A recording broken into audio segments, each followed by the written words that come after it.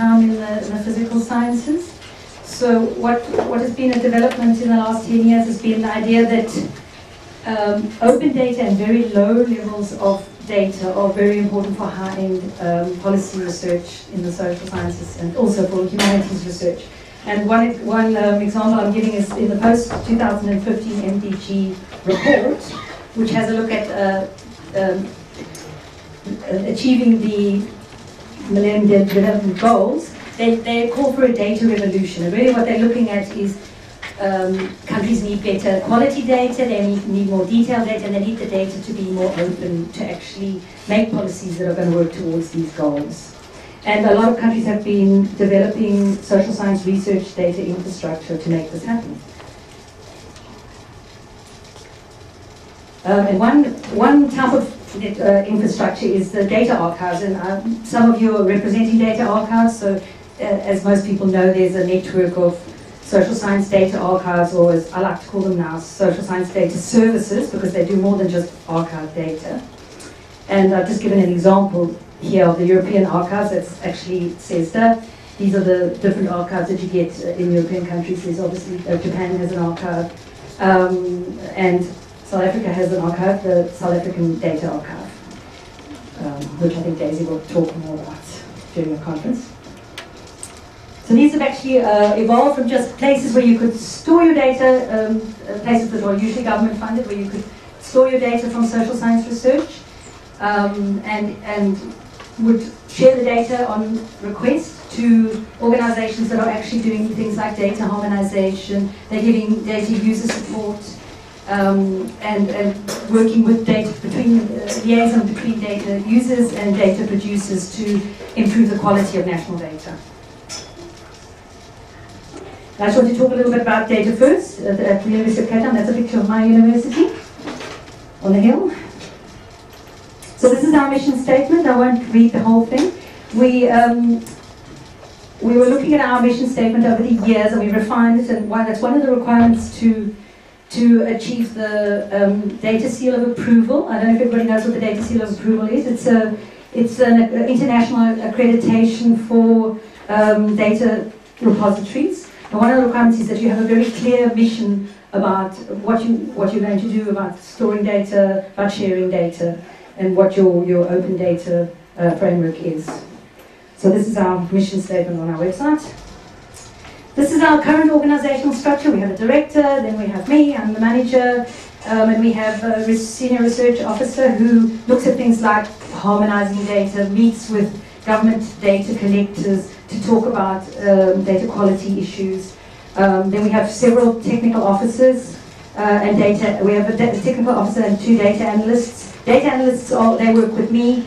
They once we get the data, once we get data deposited with us, our analysts will check the data, check the quality of the data. They're looking at issues like, you know, are there pregnant men in the data set? Do we have 300 kilogram babies? So basic data quality issues. And then, because we share data online through our portal, we crowdsource a lot for other data quality input. So we work very closely with the researchers all over the world because our data is available everywhere. Um, you don't have to be South African to get the data. And we have a lot of researchers coming back to us and, and um, letting us know about data quality issues. And what we do at best is we go back to the data producer and we work with them to produce a, a second version of the data to add metadata, to add documentation that is actually going to help in the use of the data. And um, at worst, we put up data quality notes. So if we can't improve certain aspects of the data, we, we put a data proviso or a health warning, uh, we attach that to the data. So people, so researchers still are able to use the data, but they know what they can't do with the data. So our primary focus is to save researchers research time, which they would use on data issues. Um, and that's one of the reasons we provide extensive DDI compliant metadata with all our data sets that we share this is this is our ideal. Um, I don't know if everybody can see that. This is our ideal infrastructure. A lot more staff, as you can see, and a lot more training staff because we have a, a big mandate with one of our funders to improve the, the quantitative literacy of South African um, researchers and researchers from other parts of Africa. And so we, we want to extend our, our training uh, focus quite substantially. We, we recently got a contract with the national data producer, our national stats office, to, do, to train their staff, which will be very, very valuable. And we also have a, um, we work with the OECD to train data managers in other African countries. Um, I was training people in Rwanda and Botswana this year, and it's really exciting to see. So 80% of data in, in most African countries is, is produced by the national stats offices, so we thought this would be a really, really important focus for social and economic data to, to ensure that there are data managers installed in national statistics offices we also install our open source software that we make data available through, we install that in the stats offices. And so now if you go, for instance, to the Nigerian stats office website, you can look for, you can discover, you can apply for, and you can download from their website uh, raw data from, from government surveys. So it's, it's really making progress. and It's a really exciting project. Um, looking at quality assurance, Quality control, we, we try to adhere to international standards. I, I spoke about the um, standard. We consult with stakeholders. Um, we participate, as in this forum, in, with, in issues with communities of practice.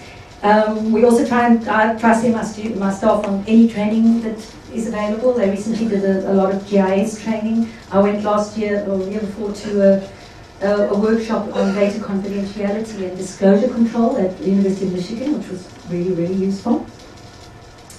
Um, and then obviously we, uh, we, have software that monitors who uses our, our data, um, how often, uh, who clicks on the links, and we have an online help desk for user feedback, which I'll talk more about now.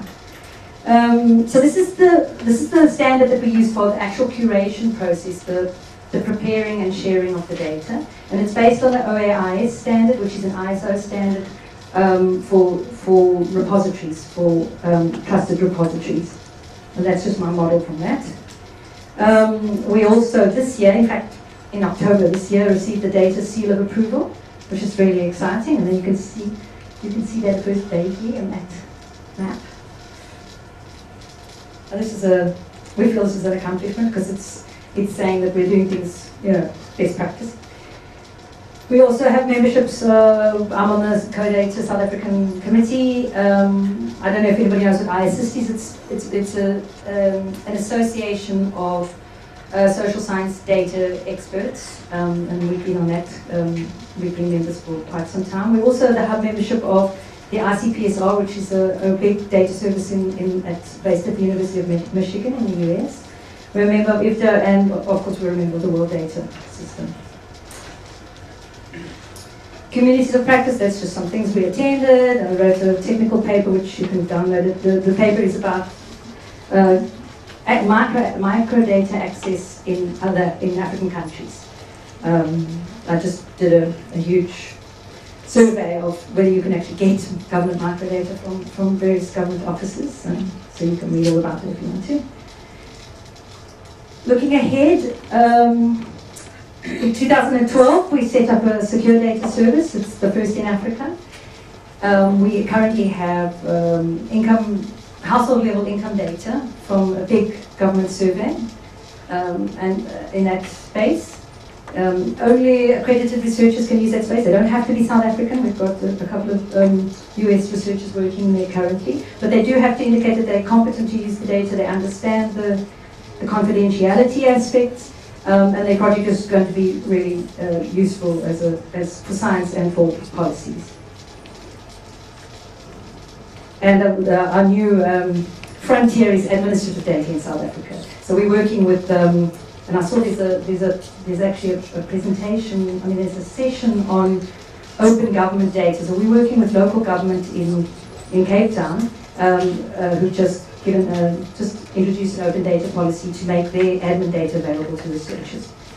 Um, and recently, the Department of Science and Technology uh, asked me to draw up specifications for enlarging the national data service in South Africa. And I think that's a fabulous idea because the more data that's out there, the easier it is to get, the better. On our on our website, you can you can uh, discover data and you can apply for it, and you will get it within maximum 24 hours. If it's a public use file, you'll get it straight away. If it's a license use file, we, we have a turnaround time of 24 hours. And I'm getting to be um, an activist in the sense that I think if you're talking about easy data and open data, you meet within 24 hours. You don't mean wait four days and get a letter of permissions.